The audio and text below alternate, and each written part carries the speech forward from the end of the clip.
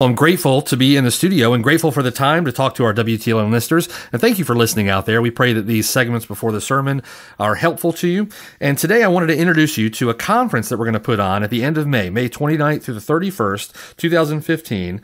And it's our Call for Discernment conference entitled A Call to Arms. And the conference will be discussing uh, how to protect your children and family from media's menacing dark side. And unless you've had your uh, head in the sand for the past several years, you've been just as impressed or staggered as I've been with the spread or advancement of technology, and not just the advancement of technology, but how technology has really infiltrated our homes. And if you're a parent, I know that this has probably concerned you, just like it has me, with how much uh, that influences our kids, how much that influences our home life, our family, uh, how much it may influence our parenting. And so we want to put this conference on to inform parents uh, on how they can give them the tools and resources maybe that they can use to protect their children, protect their family from the negative influence of media and technology. And for that conference, we're very, very grateful to the Lord to have guest speaker Trace Embry with us.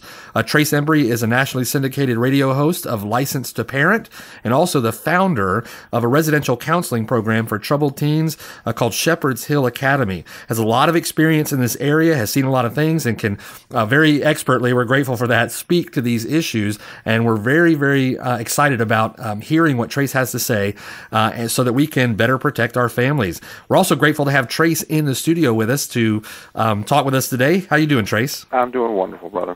Great. Well, it's great to have you here with us, and uh, we're really looking forward to the conference. I was thinking for our listeners out there who maybe want some more information about the conference, um, I thought to ask you a question and just let you talk about this for a moment. But uh, one of the things I think that's most uh, prominent in our news and maybe even in the understanding or the concern of our parents is the influence that social media has had on our kids, social media uh, has had on our families. Uh, there's so much in the news about sexting and the, I mean, with smartphones uh, and putting pictures out on social media that we shouldn't be putting out there, and maybe conversations that we have on social media that we would never have face to face with another person. Uh, maybe you can speak to that for a moment. What kind of influence do you see social media having on our kids and on our families? Well, it's huge. Uh, it's what the uh, the local park or the drugstore used to be, uh, you know, a couple generations ago. You hang out at the drugstore, you hang out at the park, hang out, the, you know, the ball fields. Uh, now kids are hanging out uh, virtually on uh, online. Uh, one third of public school, high school girls are sexting, uh, which is sending provocative images uh, across the um, airways. I think most of your listeners probably know exactly what that is. But but uh, Facebook has brought uh, people who are were far from us closer to us, and uh, has, has really distanced those who were closer to us, brought them to, to, to taken them far farther from us. And uh, you know, it used to be where you'd come home from school after uh, uh, a sporting event or, or, or maybe after class, and the rest of the evening, uh, you know, maybe uh, especially after supper, uh, you'd hang out with your adult uh, family. You know, your mom, your dad and you'd be getting adult influence and adult conversation. But today, uh, these kids uh, can take the uh, uh, you know the popular kids, the the geeks, the perverts, the the uh, uh, the bullies home with them. So they're taking their classmates home with them, and uh, they're having dialogue with their 300 uh, you know Facebook friends, which again uh, that's another term that we use. It's a godly term with the Devil's Dictionary. Are they really friends? Um, no one tells the truth on Facebook. Not even the adults. You know, they they they brag about what their kids have done or what their kids are doing and who their kids really are, and then the next parent feels like they have to keep up the Joneses, and they embellish their kids' uh, accomplishments, and it's one big uh, you know phony fest. And uh, so, you know, it's it's it's a, it's this virtual world that we're living in, and it perpetuates uh, the whole postmodern worldview, which basically says you create your own truth, your own reality. So, you know, Facebook should be a tool for good. All digital technology should be a tool for expanding the kingdom of God, for uh, promoting uh, the, good things of mankind, and it can be. But because of our sin nature, it's become our sin nature on steroids. We've turned it into a, a weapon against us and uh, against the church, um, as opposed to the tool that it should should actually be. Yeah, do you see, uh, knowing that you also run Shepherd's Hill Academy, a residential counseling program there for troubled teens, uh, do you see teens coming into the program uh, that have just been overcome by this? I've heard that it, in many cases, starts small, uh, maybe even to a parent appears innocent, but then there's a, a progressive nature to it.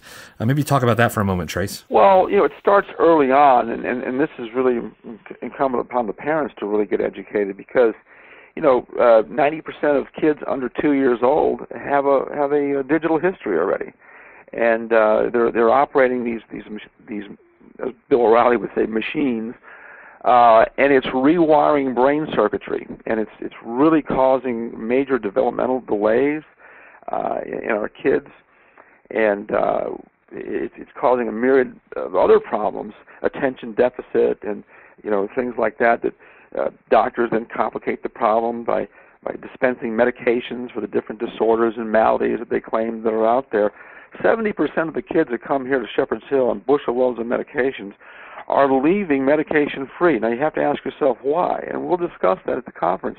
But it, this is uh, indicative of a cultural problem. You know, if you go to some cultures around the uh, the world, they have different tastes and appetites for things, precisely because the culture is influencing them to have those appetites. Or appetites can be trained. In some cultures, they love their neighbors. In others, they eat them. And so, uh, in this in this nation, we're a nation of of uh, we're a highly sexualized nation, a nation that has been uh, uh, has turned entertainment into the new god, music in particular. I mean, one of the number one TV shows on on uh, on TV right now is, is American what? American Idol.